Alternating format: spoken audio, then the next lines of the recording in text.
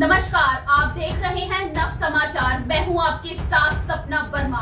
बंगाल में चुनावी सरगर्मियाँ तेज हो चुकी है। पश्चिम बंगाल में विधानसभा की कुल दो सौ चौरानवे सीटों पर 27 मार्च से आठ चरणों में चुनाव होने जा रहे हैं, जिसके नतीजे 2 मई को आएँगे।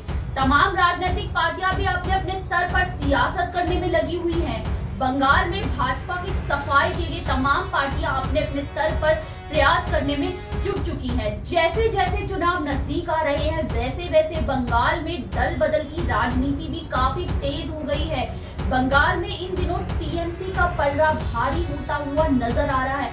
पहले अखिलेश यादव, फिर तेजस्वी यादव, फिर झारखंड के मुख्यमंत्री हेमंत सोरेन ने भी टीएमसी को खुले तौर पर अपना समर्थन दिया है। और अब अटल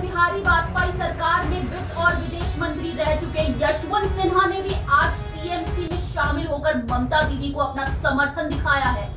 टीएमसी में शामिल होने से पहले यशवंत सिन्हा ने ममता बनर्जी से उनके आवास पर मुलाकात की थी। मुलाकात के बाद सिन्हा ने केंद्र की मोदी सरकार पर जमकर हमला बोला। इससे पहले भी मोदी सरकार की नीतियों के खिलाफ पूर्व वित्त मंत्री और विदेश मंत्री रह चुके यशवंत सिन्हा ने कई बार नाराज़गी ज़ाहिर की है। उन्होंने कहा है कि सरकार के मनमानेपन पर अंकुश लगाने वाला कोई नहीं है। हमारे देश के लिए ये सबसे बड़ा खतरा पैदा हो गया है। प्रजातंत्र का मतलब सिर्फ़ पाँच साल में चुनाव और वोटों से नहीं है। इसका मतलब जो लोग चुनकर आए हैं, वो लोगों के लिए काम करे। किसान आज से परेशान है, लेकिन किसी को कोई चिंता नहीं। मजदूर पलायन करके कैसे गए, वो सब हमने देखा।